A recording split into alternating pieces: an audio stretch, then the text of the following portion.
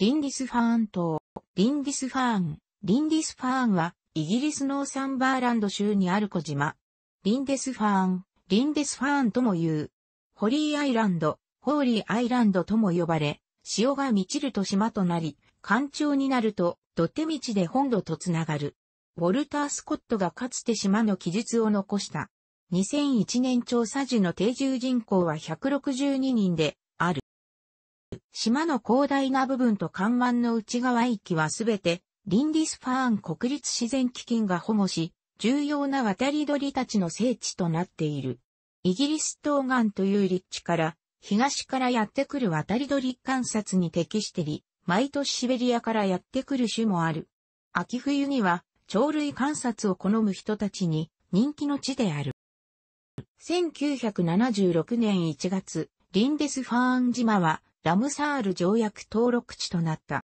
635年頃、ノーサンブリア王、オズワルドの要請で、スコットランド西岸アイオーナからやってきた、アイルランド出身の精鋭団は、島にリンディスファーン修道院を建てた。イングランド北部のキリスト教布教の基地となり、マーシア王国への伝道団を送り成果を上げた。アイオナからやってきた僧たちが島に移り住んだ。ノーサンバーランドの守護聖人、ワイチ僧侶から修道院長となり、数々の奇跡を起こしたと言われる。彼は後リンディスファーン司教となった。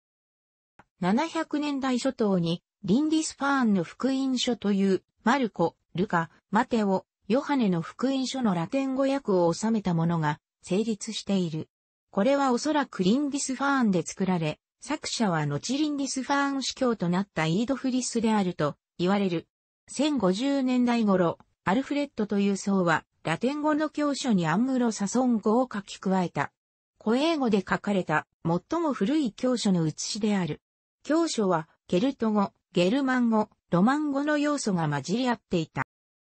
793年にリンディスファーンはバイキングによる襲撃を受け、この事件はキリスト教西欧社会を震撼させた。ただし、リンディスファーンの福音書や聖カスバートの生異物といった重要な宝略奪から難を逃れているため、バイキングの襲撃の危険性について、修道士は事前に何らかの警告を受けていたと考えられる。カール大帝は捕虜とされた修道士のために身代金の準備をしたが、この試みの成否は明らかではない。ともかく修道院は、この一度目の襲撃は乗り越えたのだが、875年に二度目の襲撃を受けるに至り、修道士たちはこの地を捨てて7年間放浪した後に、ダラムへと落ち着くこととなった。1081年には、ベネディクト会派によって修道院が建設され、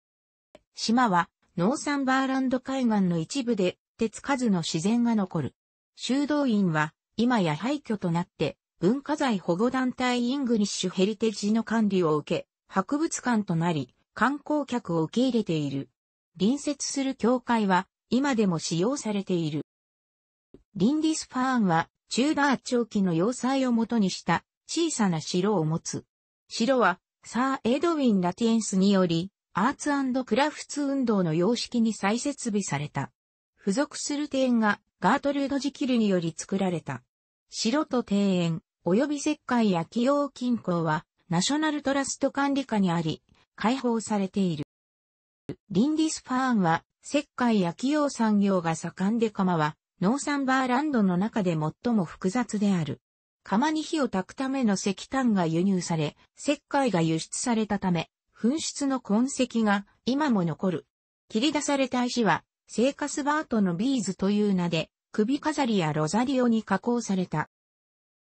リンディスファーンは何年もの間、漁業を中心とし農業と石灰焼きを兼ねた共同体であった。観光を兼ねた巡礼は12世紀に発展した。現在も観光客がやってくるが、島の宿泊施設に限界があるために一般的でない。時間に余裕のある日帰り観光客は、潮が満ちている間は、島で静かな時間を楽しむ。ほとんどの客は、潮が再び満ちる前に帰っていく。天候と潮の様子がいいならば、徒歩で目印を頼りに、かつての巡礼の道である砂の上を歩くことが可能である。島では、カニのサンドウィッチが楽しめる。